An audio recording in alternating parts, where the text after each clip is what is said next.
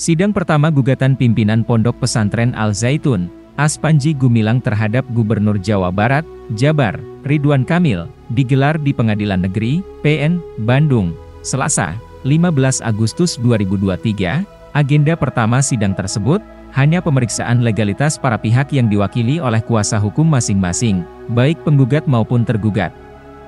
Sidang yang dipimpin Hakim Ketua Tuti Haryat itu pun berlangsung singkat.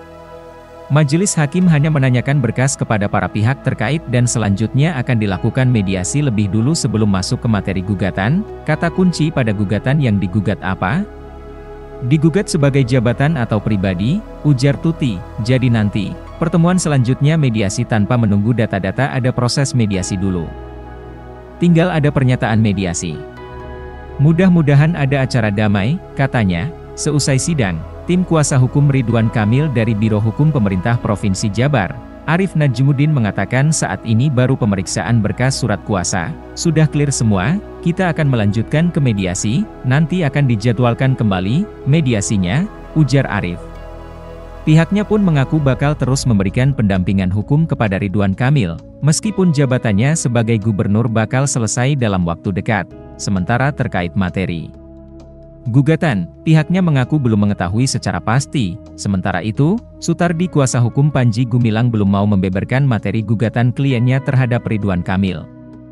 Adapun yang menjadi alasan kliennya melayangkan gugatan, kata dia, karena Ridwan Kamil sebagai gubernur dianggap terburu-buru dalam menyimpulkan sehingga merugikan kliennya.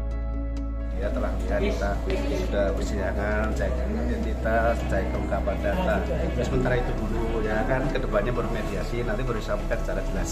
Ya nama? kasih ya. Nama Sutardi dan Putra Kurniadi serta Dewo Sutardi dengan? Putra Kurniadi Putra Kurniadi Berarti hari ini cuma materi ini?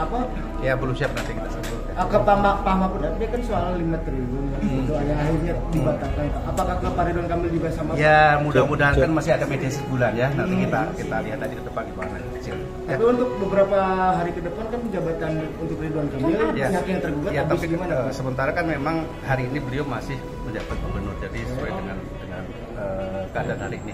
Puasanya kan masih tanggal 3 Agustus hmm. oke ya teman-teman lain lain kali lagi. Besok lagi. Siap. oke ya makasih ya. Makasih ya. Sama-sama ibu. Berkas-berkas surat kuasa dan ini sudah clear semua. Jadi kita akan lanjutkan ke mediasi. Hari ini dan akan diundur karena nanti ada. Mediasi lagi waktunya dan jadwal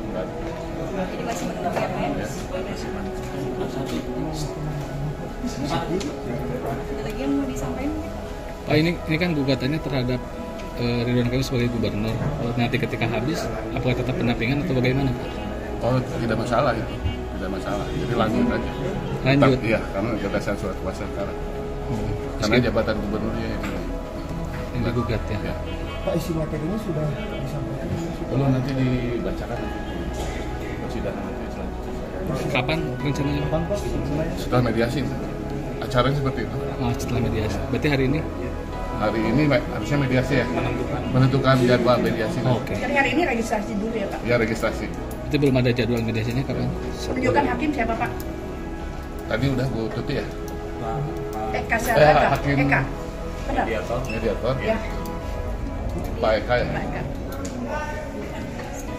Oke deh, makasih Pak ya. Ya. Lupa like, subscribe, dan share ya.